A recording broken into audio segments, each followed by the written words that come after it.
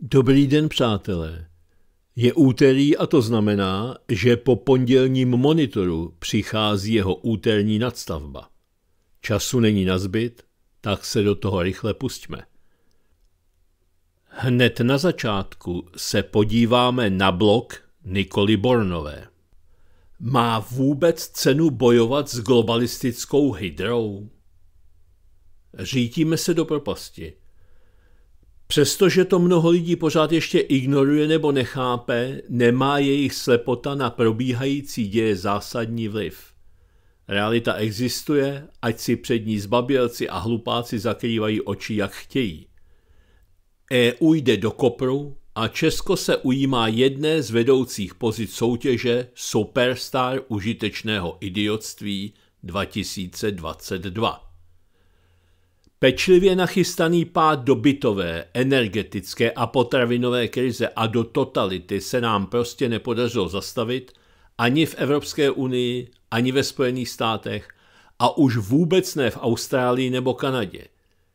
Tím mám na mysli hlavně autory z alternativních médií, blogery, zbývající tvůrce videí a rozhovorů ze svobodných rádií a videokanálů a všechny čestné a odvážné aktivisty, i ti existují, i když jich je málo.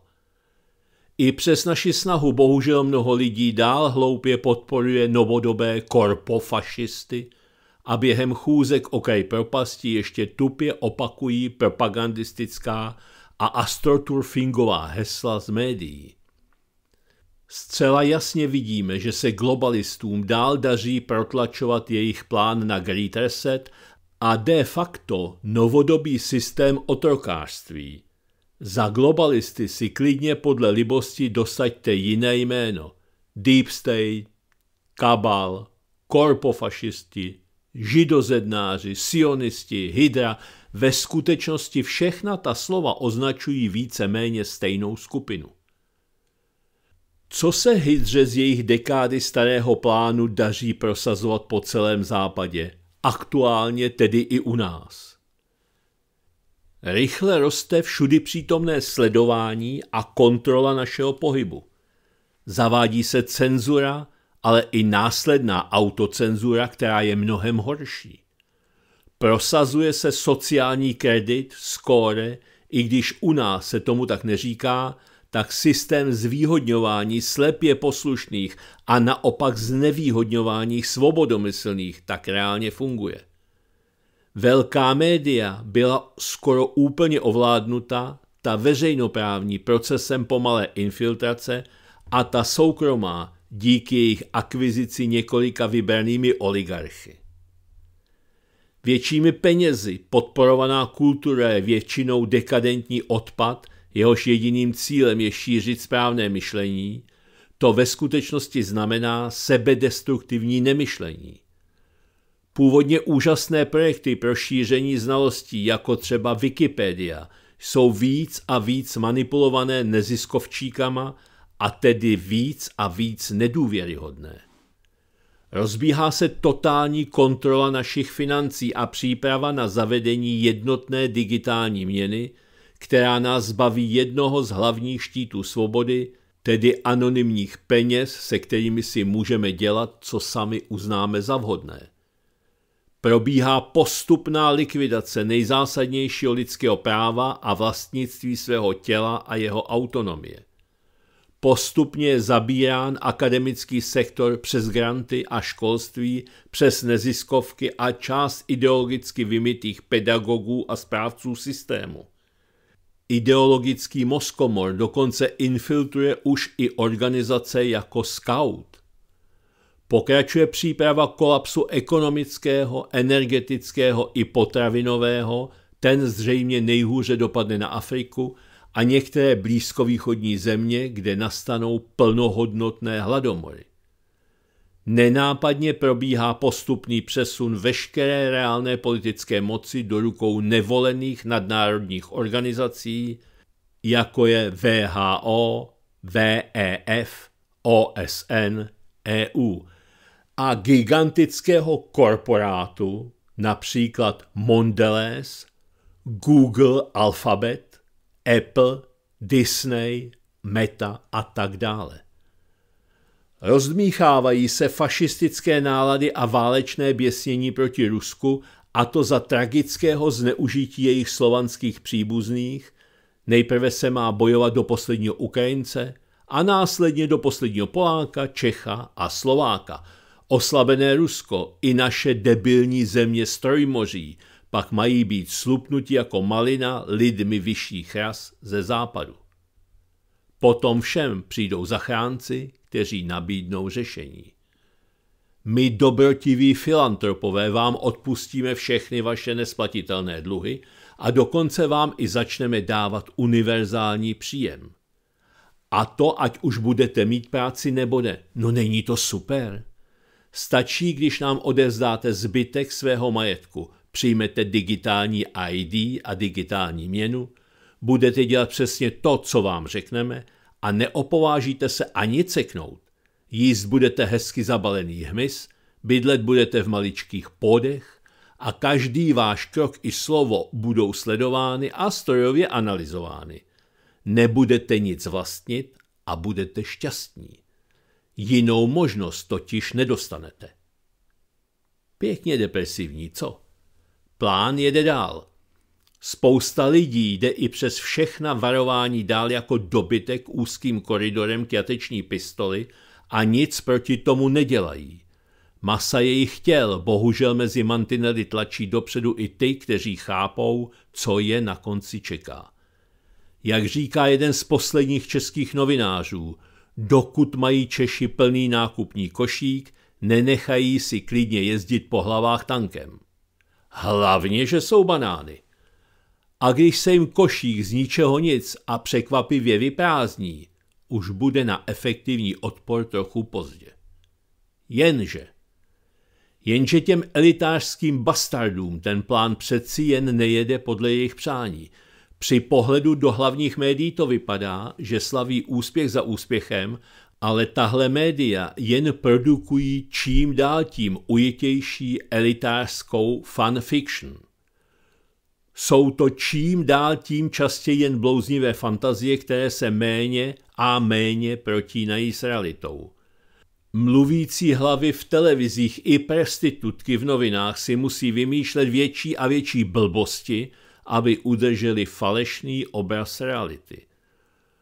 Ulicemi zemí západu mezi tím proudí statisíce protestujících, tím myslím skutečných demonstrantů, kteří opravdu riskují zranění od vodních děl, obušků, gumových projektilů a podobných výchovných prostředků.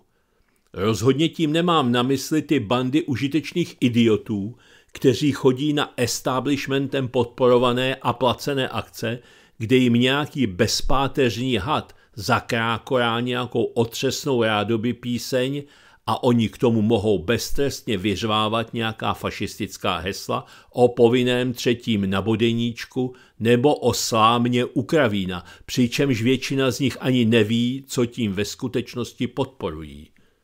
Hnutí odporu sílí.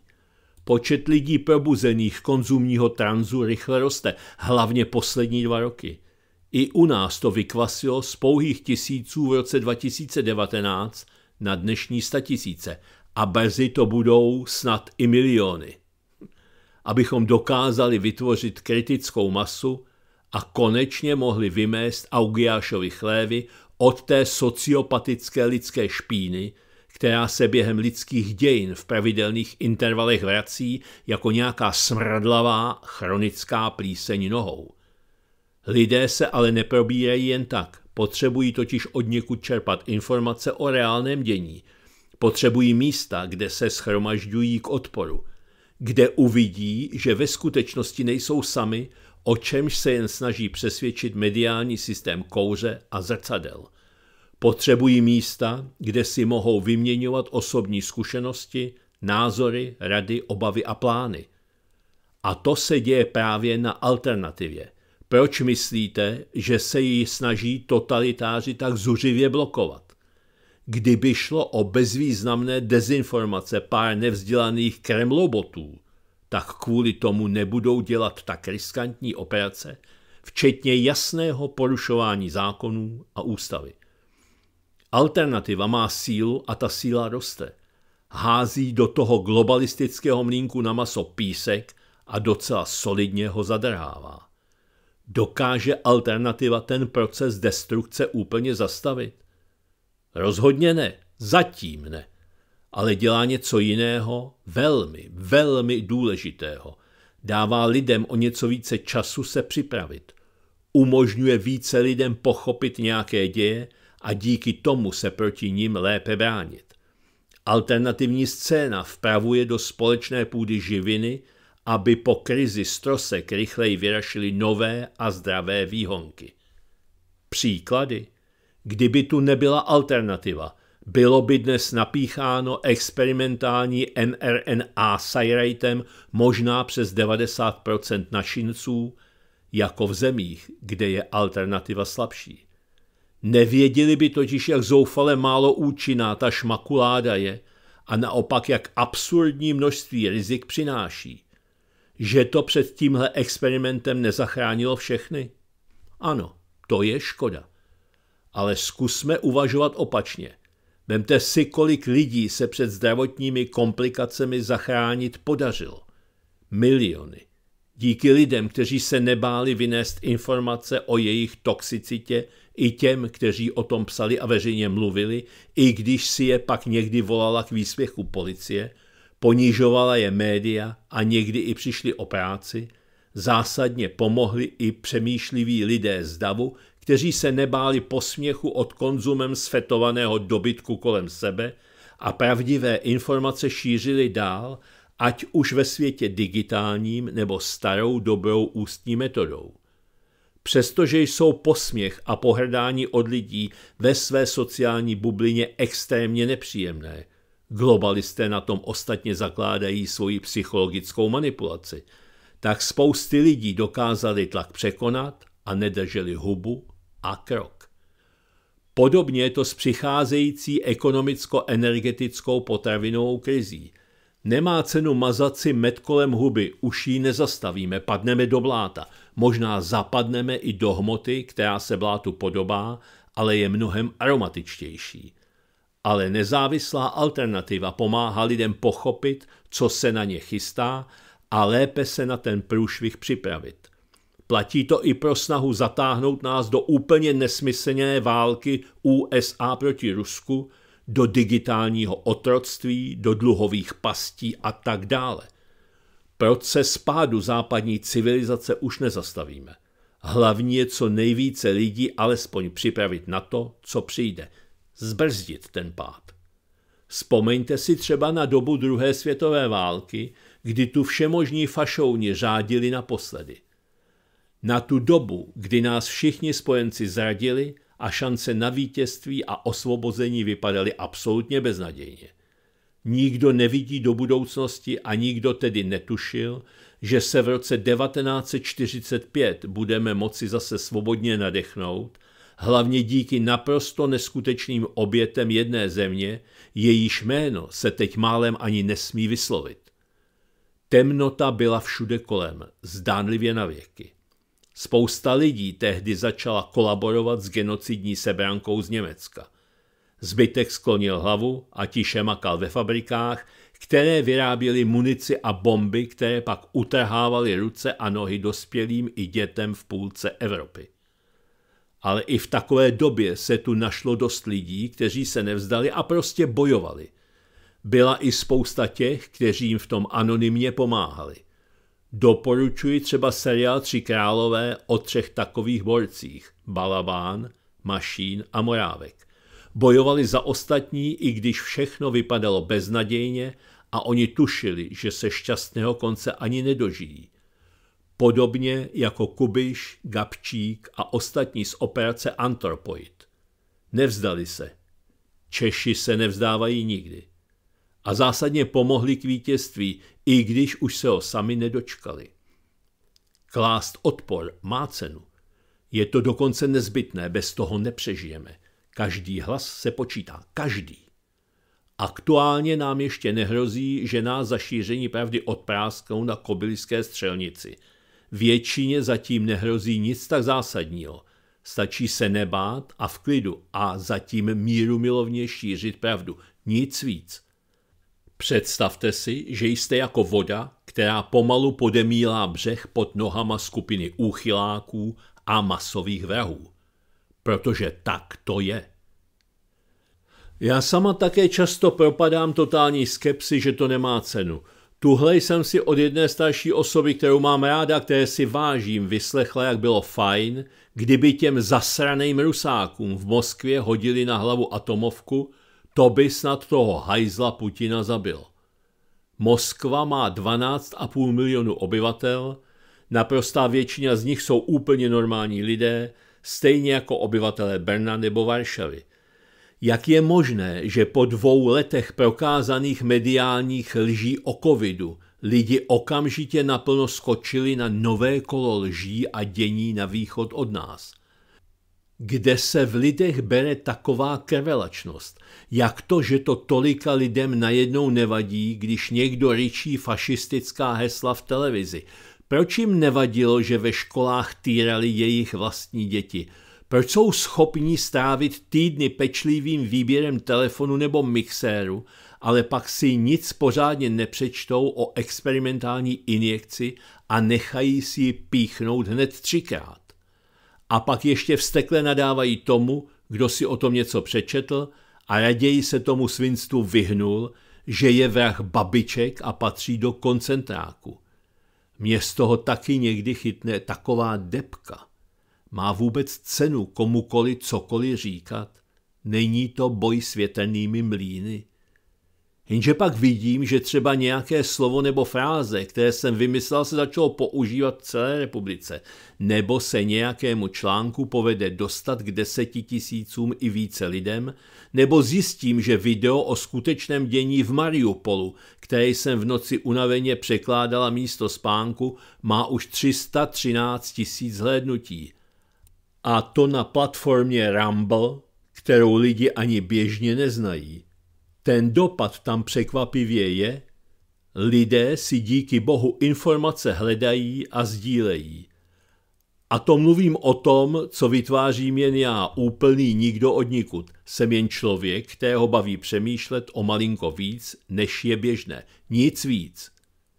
Když dokáže mít takový impact někdo jako já, dokáže to kdokoliv. Odpor není marný. Čím více se blíží rozpad říše, tím šílenější jsou její zákony, řekl Marcus Tullius Cicero.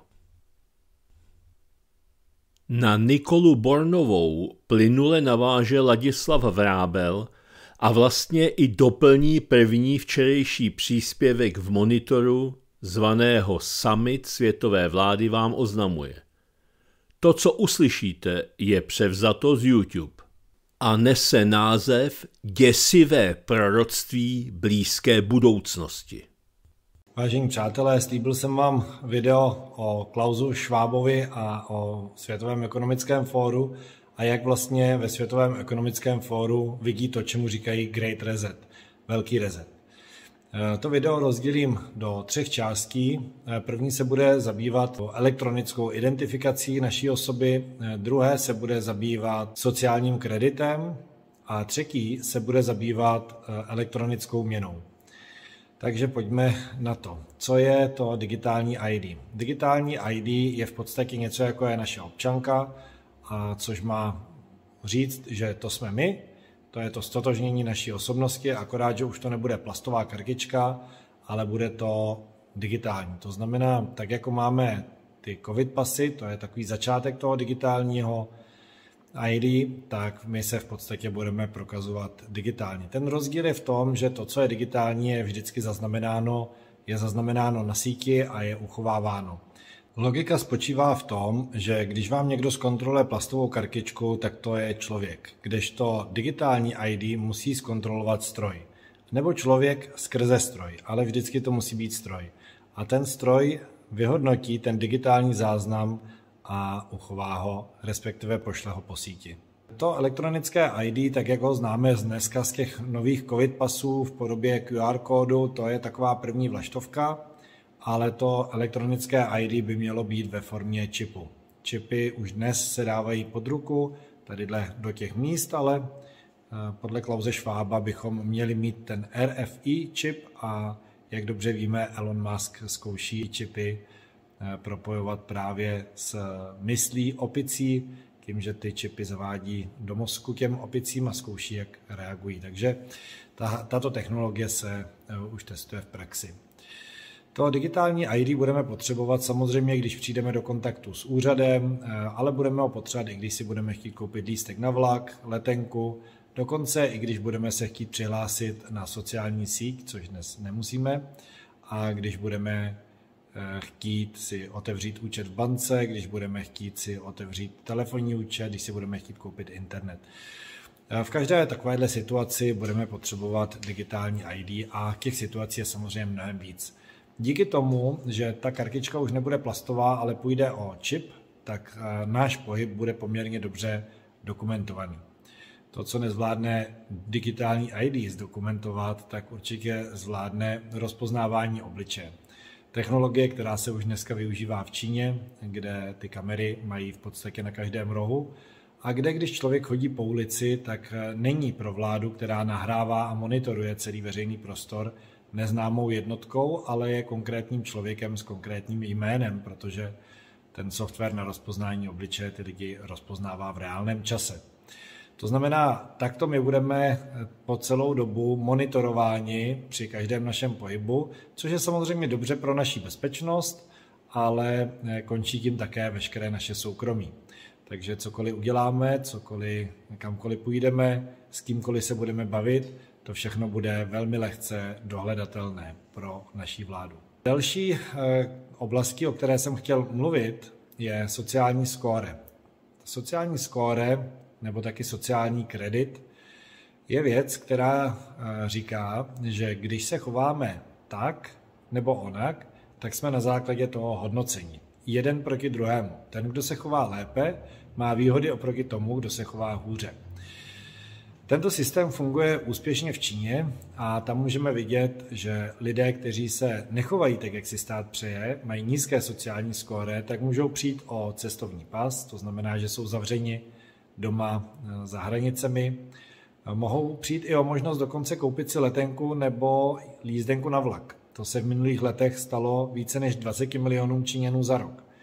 Ale čínská vláda také může lidem, kteří mají nízké sociální skóre, vzít psa anebo se děti lidí, které, které mají nízké sociální skóre, nedostanou do dobré školy. Samozřejmě jsou tady půjčky, které člověk nedostane a jsou i případy, kdy čínská vláda, když má někdo nízké sociální skóre, odebrala tomu člověku jeho vzdělání, jeho diplom o vzdělání. Takže když potom jdeme do práce, když si jdeme půjčit do banky, když chceme, eh, aby naše děti šly do školy, tam všude se hodnotí naše sociální skóre. Třetí důležitou věcí a podle mě nejdůležitější jsou peníze. A tady skutečně vnímám, že velký rezet by měl být velkým rezetem našeho finančního systému a nastolení nového finančního systému. A jak by měl vypadat ten nový finanční systém? Tak bude se opírat o CBDC. To je centrální digitální měna. Ta centrální digitální měna je něco jako kryptoměna s tím rozdílem, že tato nová digitální kryptoměna není decentralizovaná, tak jako ty kryptoměny, které si dneska kupujeme a které si užíváme k tomu, abychom eh, mohli platit mimo stát. Tato centrální digitální měna bude také na blockchainu, to znamená, že se také bude zaznamenávat veškerý pohyb, ale bude ji vlastnit stát, to znamená, že bude centralizovaná. Takže nějaké soukromí v ní vůbec nebude. A co je horší, tato kryptoměna bude kompletně programovatelná. To znamená, že stát může veškeré peníze naprogramovat tak, jak potřebuje. Hned se k tomu dostanu, ale pojďme si uvědomit, jaký je rozdíl mezi dnešními penězi a mezi naprogramovanými kryptopenězi. Ty dnešní peníze mají papírovou nebo kovovou formu a můžeme si je dát do kapsy, můžeme je zašít do polštáře nebo je můžeme někomu dát. My sami rozhodujeme, co s nimi uděláme a skutečně je vlastníme. Máme je u sebe a nikdo, pokud mu to neřekneme, nemůže vědět, kolik těch peněz u sebe máme a nikdo nemůže dohledat, co s nimi uděláme. U těch peněz eh, elektronických je to jinak. Ty už nikdy nebudeme vlastnit, protože to je jako kdyby skončil cash, jako kdyby skončila hotovost.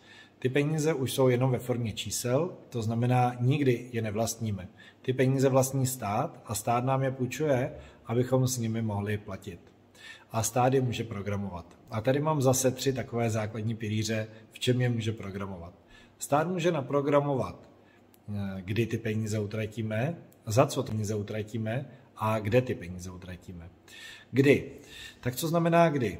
Tak my si dneska šetříme peníze, děláme si zásobu třeba na dobu, až budeme starší, šetříme si na důchod, nebo si šetříme na loď, nebo si šetříme na auto, nebo si šetříme na cokoliv jiného.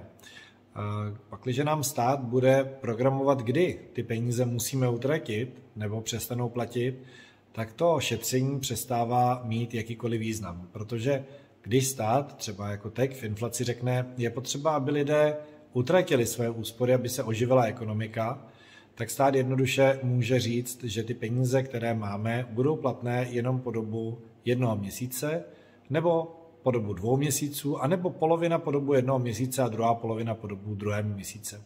Stát také může určit, že některé peníze můžeme použít jenom v pátek a některé jenom v neděli a některé nemůžeme třeba použít o víkendu. Nebo může také stát říct, eh, kdy musíme skutečně využít tyto peníze a kdy musíme využít jiné peníze, jinak ztratí hodnotu. Takže stát bude určovat, kdy budeme utrácet. Ale stát bude také, může určovat také, za co budeme utrácet. Protože stát dokáže naprogramovat, které peníze můžeme utratit za co. Takže stát může naprogramovat třeba, že hm, tenhle ten Hládě Vrábel, který tady k vám mluví, teď se nechoval dost dobře a říkal lidem věci, které se státu nelíbí a proto on si může koupit Fiat, může si koupit Škodu maximálně, ale nemůže si koupit BMW, Mercedes nebo Porsche. Takže mu jeho peníze nebudou fungovat v Mercedesu, v Porsche a v BMW. Ale může se to týkat samozřejmě i menších věcí. Nebude se to týkat jenom aut, ale může se to týkat toho, kde za jaké zboží může nakupovat potraviny, nebo kosmetiku, nebo dovolenou, nebo jestli si může koupit lístek na letadlo, nebo jestli si může koupit lístek na vlak. To všechno může samozřejmě vláda jednoduše naprogramovat. To omezení časové se testuje v Číně, protože tam už takovou měnu mají, ale to, za co můžeme ty peníze utratit, to zase testují v Kanadě. V Kanadě existuje kreditní karta, která počítá uhlíkovou stopu. To znamená, že každý výrobek má určitou uhlíkovou stopu a my si můžeme koupit jenom určitý počet té uhlíkové stopy za měsíc. Takže když si nakoupíme výrobky a dosáhneme hodnoty naší povolené uhlíkové stopy, tak už kreditka přestane fungovat. To je věc, která čeká nás v budoucnosti pravděpodobně všechny. A poslední věcí, která je pro mě nejzajímavější, možná bude i pro vás, je, že stát může určit, kde budeme utrácet naše peníze. Kamarádi mi říkali, nebojme se, nemůžou nás všechny zavřít, nemají na to dost míst ve vězení. A na to jim povídám, že skutečně nás nemůžou všechny zavřít do vězení, ale všechny nás mohou zavřít domů. Představte si, když stát řekne, že nebudete smět venčit psa dále než 500 metrů od domu. A co když stát řekne, že nebudete moct utratit své peníze dále než 500 metrů od domu? Tak eh, když budeme chtít jít někam na výlet, budeme si potřebovat koupit něco k pití nebo k jídlu, po případě léky, protože se nám něco stane, nebo benzín do auta, nebo lístek na vlak, nebo hotel, že tam budeme chtít přespat, tak prostě si to nekoupíme, protože naše peníze nebudou fungovat budou fungovat třeba jenom těch 500 metrů od domu. Když budeme chtít jít na dovolenou, tak nám stát může určit, kam pojedeme na dovolenou. Může nám určit, že pojedeme na západ, protože tam je to skvělé, a nepojedeme na východ, protože tam už naše peníze fungovat nebudou.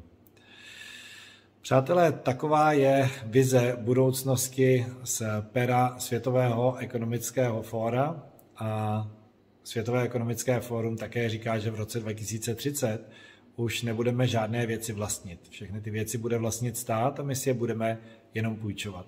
Dokonce nebudeme muset eh, za některé věci platit podle Světového ekonomického fóra třeba za byt, protože ten byt bude využívat někdo jiný, když ho nebudeme využívat my. Mějte se krásně a přeju vám hezký den. A nyní je na řadě Jan Campbell. Jak se mění svět a člověk Část první. Rychlé dění ve světě mě vybízí rozdělit popis změn světa a člověka na několik částí. Jak se mění svět a člověk? Tři části. Jimž bude odděleně následovat Reset a jeho spoluautor Schwab a není patent jako patent. Davoské zlé sny Zasedání Světového ekonomického fóra VEF 2022 dominuje v jazyce globalistů ruská agresivní válka. Prezident Zelenský, hlásná trouba západně orientovaných Ukrajinců, jak indikuje jedno z jeho hlášení, je připraven svými vychovateli na odchod do jiného světa. Tvrdošíně deklaruje své požadavky, přestože USA, EU a Ukrajina se nemohou podle The New York Times dohodnout, jaké jsou jejich cíle v konfliktu a jak jej ukončit.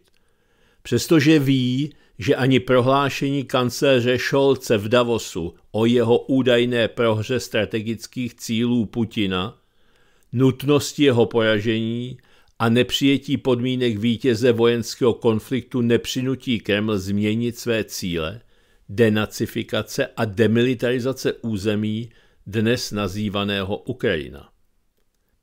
Prezident Zelenský i jako herec komik ví, že čelí delší rozhodující bitvě, kterou nemůže vojensky a politicky ani s pomocí suflérů z USA a Británie bez plnohodnotného vstupu na to do hry vyhrát. Na Prahu této bitvy s několika pauzami a s pomocí vystrašeného syna ředitele Ravensburské filiálky hospodářsky a politicky významné společnosti Ash Service zveřejněním fotografií své vily na internetu šéfa VEF Klause Švába Zelenský přešel práh bývalého ruského domu v Davosu. V něm distančně otevřel výstavu o ruských válečných zločinech. Výstava má vyzývat Západ, aby nezapomněl. Podobně Západ nemá zapomenout na požadavek ministra zahraničí Kuleby. Podle jeho prohlášení ukrajinské jednotky nyní naléhavě potřebují raketové systémy s vícenásobným odpalováním a proto západní země by tyto systémy měly poskytnout co nejdříve. Mohu odpovědět dvěma zkratkami – MLRS a ASAP, řekl minister zahraničí v angličtině a zapomněl doplnit vysvětlení chování svého podřízeného velvyslance v Německu vůči kancléři Šolcovi, jak je možné, že ochota obyčejných Ukrajinců bojovat padá a proč se v náboženstvích rozlišuje mezi prominutím a nezapomenutím. Zločiny nebudou zapomenuty podobně, jako nebývají zapomenuty podnikatelská dostižení a mnohé zlé sny. Jeden z nich představuje sdělení generálního ředitele Mezinárodní agentury pro atomovou energii Rafaela Grossi na VEF v Davosu. Ten prohlásil, že v záporožské jaderné elektrárně v Energodaru jsou obrovské zásoby jaderného paliva, cirka 30 tun plutonia a 40 tun obohaceného uranu, stupeň obohacení nebyl sdělen, to je poznámka autora. Uvedl, že agentura chce mít jistotu, že se zásoby nestratí a vyjádřil naději, že zástupci agentury se budou moci do jaderné elektrárny vypravit, aby se o tom přesvědčili, neboť tato otázka mu nyní nedává spát. Pan generální ředitel Grossi nějak zapomněl, že jaderná elektrárna Energodar je a zůstane pod kontrolou Ruské federace a proto jeho obavy o spánek jsou liché. Liché nejsou obavy z prohlášení tedy Stoltenberg, von der Leyen a Borel. Putin chtěl na svých hranicích méně NATO. Teď dostane víc, hlásal Stoltenberg, aniž by řekl, v jakém stavu a jakým směrem se bude ubírat NATO po rozšíření o Švédsko a Finsko a případné výměně prezidenta USA po volbách v listopadu do kongresu nebo pozdějších prezidentských volbách. Zatímco von der Leyenová ostře kritizovala Ruskou federaci, mistr bezubé evropské diplomacie Borel prohlásil, že Evropa může využít nejen měkkou sílu, ale také tvrdou sílu, ne nutně vojenskou. Samozřejmě ve svém vlastním zájmu a podle vlastního EU narrativu. Pro ten ale nenabídl žádný návod. Co znamená použití tvrdé síly, dokázal 24. května 18-letý Salvador Roma s palbou na základní škole v Uvaldu v Texasu v USA. Podle posledních údajů bylo zabito 19 dětí, dva dospělí a 17 zraněných. Není proto divu, že téměř všichni vystupující na VF potvrdili, že pokrytecká radost z nočních radovánek, vůle loutek s možností spojit se, aby se zabránilo škodám u loutkovodičů, vystřídala v letošním Davosu nezvyklá míra z bezradnosti, agrese a pochybností a přání co nejrychleji porazit Putina a Rusko, aby mohl být udržen dolar a nastolen mír. Ten, než vstoupí do našich životů, bude vyžadovat odpověď na otázku platnou pro nás, změněné VEF a elity. Jak se mění svět a člověk? Na cestě k jedné z odpovědí neuškodí udělat si pauzu a uvědomit si, že v roce 1970 objevili vědci v tajné jeskyni na břehu Nilu originál Jidášova Evangelia – Originál byl považován za navždy ztracený. Křesťanští apologeti jej ve svých textech zmiňovali již ve třetím století našeho letopočtu, ale Vatikán existenci dokumentu v zásadě neuznával. Mezitím byla prokázána pravost rukopisu. Jednomu objevu následoval druhý. Byl nedávno učiněn v Turecku. Barnabášovo evangelium napsané v asyrštině bylo katolickým duchovenstvem prohlášeno za nekanonické. To znamená, že katolíci veřejně přiznávají manipulaci s fakty vhodnými pro kanonickou Bibli. Není proto divu, že Vatikán zakázal jeho studium a čtení a zapomněl připomenout tajné vatikánské archivy, jejíž existenci přiznal papež Lev XIII. až v roce 1881. Kdo ví, co se v temných kopkách nejnáboženštějšího městského státu světa skutečně skrývá, ať napoví.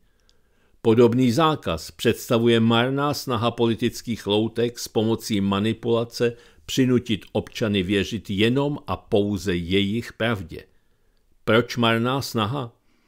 Kniha žalmů, příspěvek autora Pravda vylezá ze studně a příspěvek Jana Kellera, nejzáludnější z dezinformací, nabízejí návod k odpovědi a nutí k zamyšlení nad tématem a názvem příspěvku.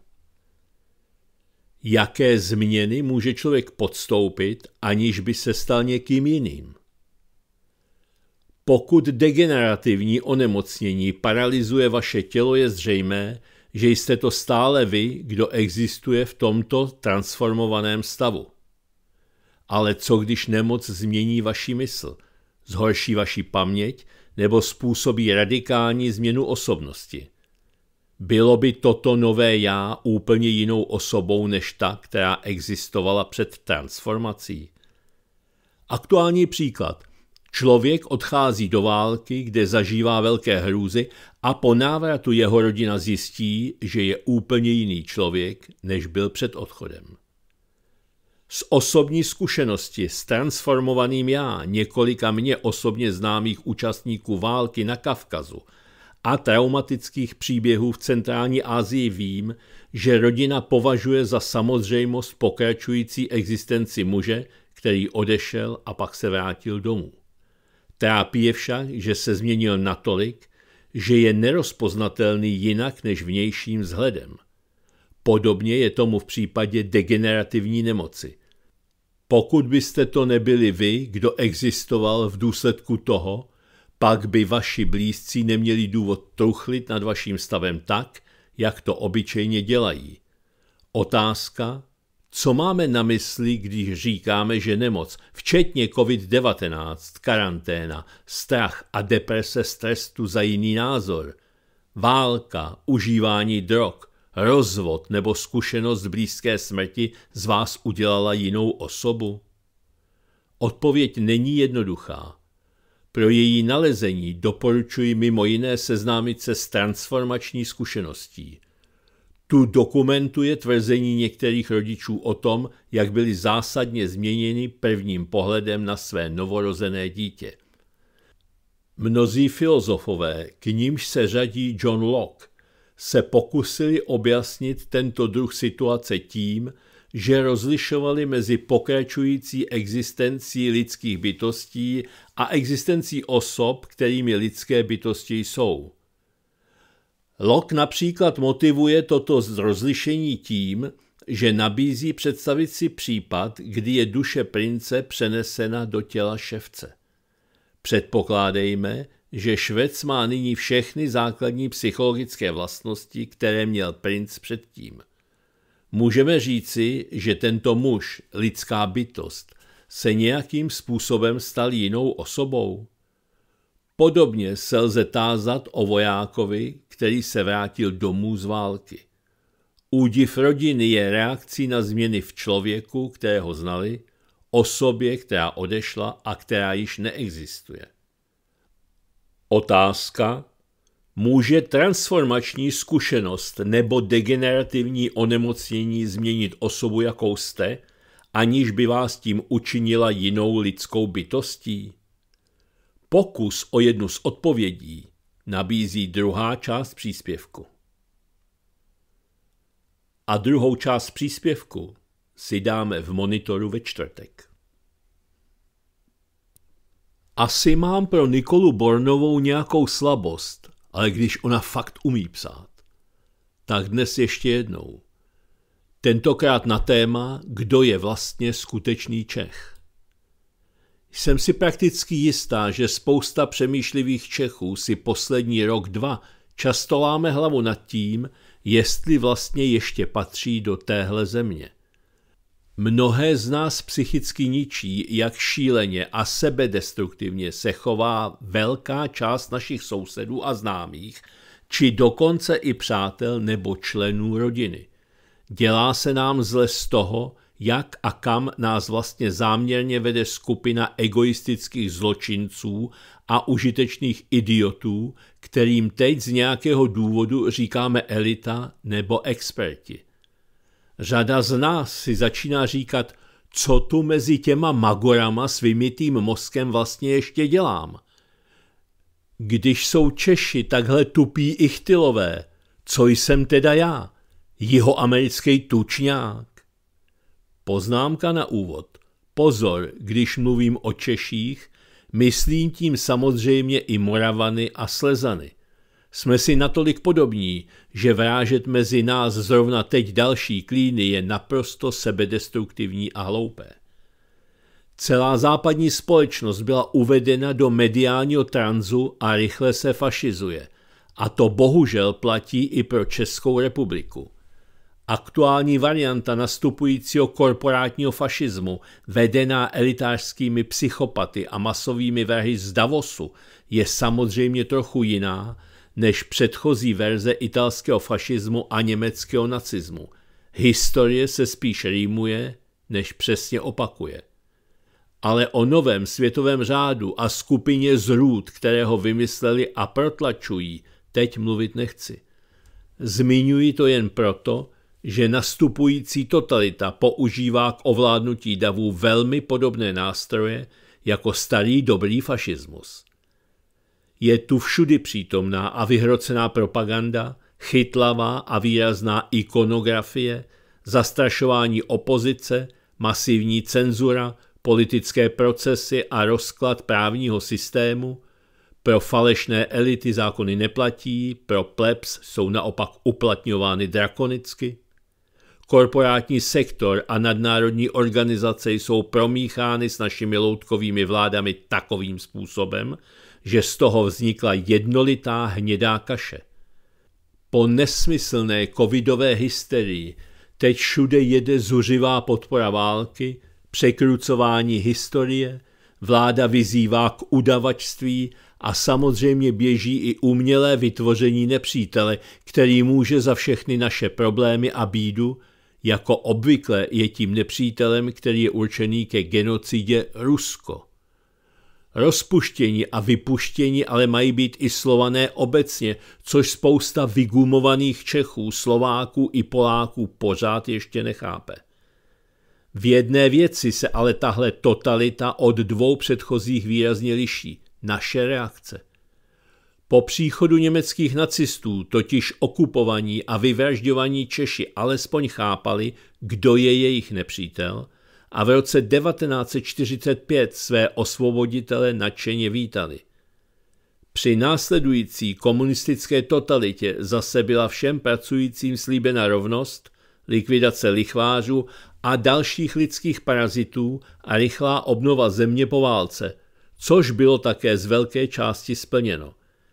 Jde tedy částečně pochopit, proč se tehdy Češi nechali oblbnout a vtáhnout do 41 let nesvobody, ve které byl docela dlouho smrádek, ale teploučko.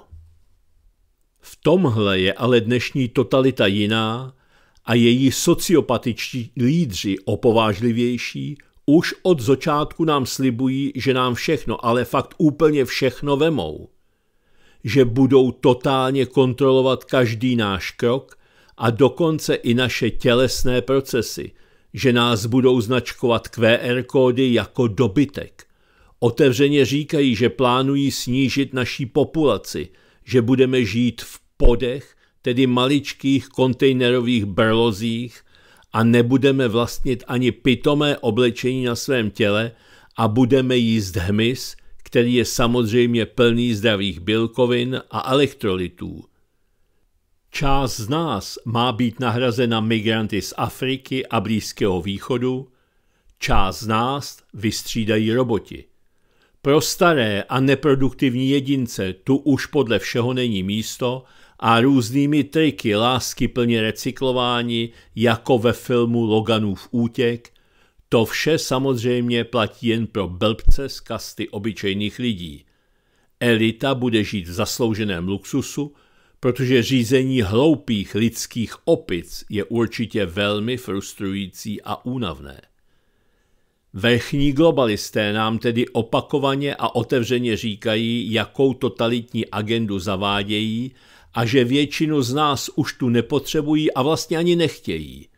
Zabíráme jim tu místo, jak by řekl teleshoppingový prodavač hrnců Horst Fuchs, nebo nový prodavač bunkrů Andor Shandor, a to se vyplatí.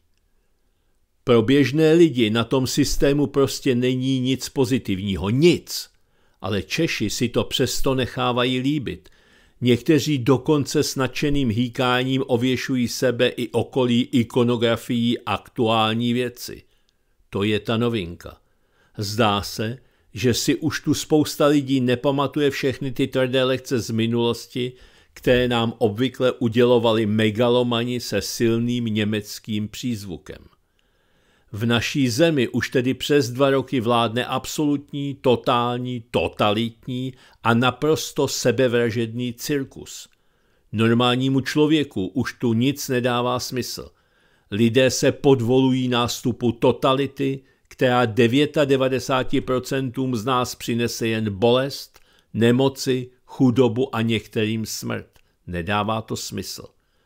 Přesto jdou tihle Češi s křečovitým úsměvem dál, jako by se nic nedělo. Sem tam si jen vytrhají zbytky vlasů, když vidí účet za plyn.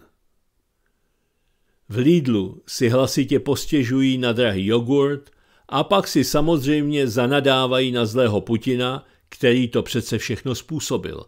Nejsou schopní pochopit, co se skutečně děje a i když jim to chcete vysvětlit, aby se mohli lépe bránit, naskočím v hlavách pečlivě naprogramovaný algoritmus o kremelských dezinformátorech a začnou vás vstekle přeřvávat a udávat autoritám. Řadě duševně zdravých a racionálně myslících lidí se tedy honí hlavou myšlenky jako pro boha, co jsme to za národ, že se necháme takhle sfanatizovat cizí propagandou. Jsou už Češi úplní idioti? Co to pro boha podporujeme za zrůdnosti? Od kdy Češi podporují fašismus? Kam se poděl zdravý rozum? Proč si necháváme dál srát na hlavu od těch trojských konňů v naší vládě? Proč se lidi ještě nevzbouřili a proč tohle svinstvo podporuje i naše policie a armáda, když nás právě před takovými vlastizráci a zločinci mají chránit? Patřím já vůbec ještě do téhle země a mezi tyhle lidi? Nemám od těch českých idiotů někam utéct? Jsem vlastně vůbec Čech, když je kolem tolik amorálních hovat a mentálních zombí a já s nimi prostě nemám nic společného. Jenomže pokud se kolem sebe podíváte pořádně, tak krom davu tupých dutohlávků, nesvéprávných biorobotů a nelidských sviní vidíte zároveň i velký počet lidí, kteří se naopak odvážně staví na odpor proti všemu tomu šílenství, dekadenci a tyranii. Vidíme kolem sebe lidi, kteří se pořád nebojí nekorektního i velmi černého humoru, poctivě makají v práci, doma i v různých združeních na ochranu svobody a lidských práv, i když se nás užiteční idioti snaží lživě přesvědčit, že jsme národ lenochů a zlodějů. Vymýšlejí netradiční, chytrá a někdy až vyčúraná řešení problémů, a ukazují, že pořád máme zlaté české ručičky i hlavičky. Dokonce i občas odkládají mobily a místo toho zahrádkaří a starají se o svoje útulné chalupy. Umí kreativně obcházet debilní příkazy kohokoliv, kdo se z nás zrovna snaží udělat svou kolonii, což jsou bohužel v 90% naší historie Germáni. Sorry jako a tak nějak na pohodu pomáhají lidem kolem sebe. Přátelsky se spolu baví u pivka, na Moravě u vínka, nebo jezdí na čundry a na vodu, bez roušek, gumových rukavic a preventivně nasazených plínek. Když narazí na příliš silného nepřítele, tak ho nějak dlouho švejkují, až z toho tyranovi začne praskat žilka – a hlavně díky zdravému selskému rozumu okamžitě rozpoznávají blbosti v plánech sociálních inženýrů a nebojí se jim bránit. A když se zrovna bránit nejde, tak se tyranům alespoň sarkasticky vysmějí do ksichtu. Nebojí se riskovat a bojovat proti nelidskému systému a to tak, aby pokud možno nedošlo k žádnému masakru a vše se vyřešilo co nejvíc v klidu a míru – Což mě znovu přivádí k základní myšlence. Kdo je to tedy vlastně ten pravý Čech? Jsou Češi jen banda submisivních podvodníků, zbabělců a idiotů bez vlastní kultury a historie, kteří by si bez příkazů z Německa nebo USA neuměli ani utřít zadek. O tom nás přese přesvědčují aktuální mainstreamové elity, ne? Nebo jsme spíš svérázný národ chytrých, kreativních a přátelských hobitů, kteří jsou sice na první pohled malincí a bezvýznamní, ale ze kterých v pravou chvíli vždy, jak mohutný gejzír, vytryskne překvapivé hrdinství a kteří mají ve skutečnosti zásadní vliv na celou Evropu. Oba zmíněné druhy Čechů u nás vyskytují se v hojném počtu. Pak je tu samozřejmě i většina těch neutrálních, kteří se mezi oběma skupinami zmítají jako hadr na holi. Hlavně v posledních dvou letech jsem o té otázce hodně přemýšlela. Potřeba být součástí něčeho většího je pro lidskou mysl zásadní, jak to tedy je. Kdo jsme jako celek? Došla jsem k závěru, že to vlastně záleží jen a jen na každém z nás, koho budeme považovat za pravého Čecha a koho za anomálii. Já si tedy dovolím variantu, že můj kmen, moji lidé a moje krev je ta část Čechů, kteří jsou čestní, odvážní, kreativní, chytří a mají smysl pro humor. Tak je to jednoduché. Jde jen o to si vybrat, jaký druh lidí a jakou skupinu budeme považovat za typické pro českou zemi. Nic víc. Já se tedy vědomně rozhoduji, že za pravé Čechy považuji lidi jako byl Jan Hus, Jan Ámos Komenský, Jan Žižka, Karel Jaromír Erben, František Palacký, Karel Hinek Mácha, Josef Jungman, Josef Kajetán Tyl, Josef Dobrovský a spousta dalších pepíků. Oto Vichterle, Tři králové, Karel Čapek a mrtě a mrtě dalších. Skuteční Češi samozřejmě byli i ti méně známí, jako byla třeba rodina řezníka Bohumila Vosmíka, která zásobovala jídlem hrdiny z operace Antropoid, a i když si pro ně gestapáci po udání od zrádce Karla Čurdy přišli, tak se nevzdávali a bojovali proti ozbrojené přesile jako lvy holýma rukama. Patří mezi ně i hromady a hromady dalších, jejichž jména ani neznáme, ale chovali se jako skuteční Češi a opravdoví lidé. Jsou mezi námi i dnes a jsou jich spousty. Stačí se dívat kolem sebe. Tohle je tedy moje volba, tohle jsou moji lidé. Mezi takové mentálně patřím, i když třeba nejsem tak talentovaná a odvážná jako oni. Naopak všichni ti skorumpovaní politici, prolhaní prestituti, udavači, fašouni, tuneláři a ojkofobové jsou pro nás cizí element. To oni jsou tou nemocí nikoli standard. Oni jsou to nezdravé vychýlení z naší přirozenosti a nic na tom nemění ani to, že se v některých obdobích může chovat stejně jako oni zdánlivá většina. Tihle zrádní a nenasytní, falešní Češi jsou jen virus společnosti, který nás bohužel občas zachvátí. Ti z nás, kteří fungují jako antivirus, ale časem získají sílu, podporu většiny a zemi zase uzdraví. Jen musíme vydržet, nevzdat se, vyvolávat neustálý protitlak a nepropadnout malomyslnosti, že virus zla je příliš silný. To, že tu pořád jsme, znamená jednu prostou věc. V minulosti jsme všechny kalamity nakonec vždycky přežili a někdy jsme se díky nim dokonce stali o kousek lepšími a silnějšími. A to uděláme i teď, přežijeme biologickou válku, ekonomickou i potravinovou krizi, snahu zmrzačit naše děti i uměle živenou nenávist mezi slovanskými národy. Přežijeme a nakonec ještě zesílíme. PS Hrdiný Sokol, bratr Pecháček, který pomáhal odboji a kterého nacisti mučili dva roky a on jim přesto nic neprozradil. Nakonec na něj frustrovaní nacisti, které dnes oslavujeme pozdravem Sláva Ukrajiní! V koncentračním táboře poslali smečku cvičených psů, kteří ho zaživa roztrhali. Ani jsme se nenadáli a jsme na konci dnešní nadstavby monitoru zvané Co se nevešlo do včerejšího monitoru. Hold takový je život. Proto se v tuto chvíli od mikrofonu studia Kalich Svobodného rádia s vámi do čtvrtka loučí, ovšem dáli Bůh a cenzor, Ivan Votava. Naschledanou.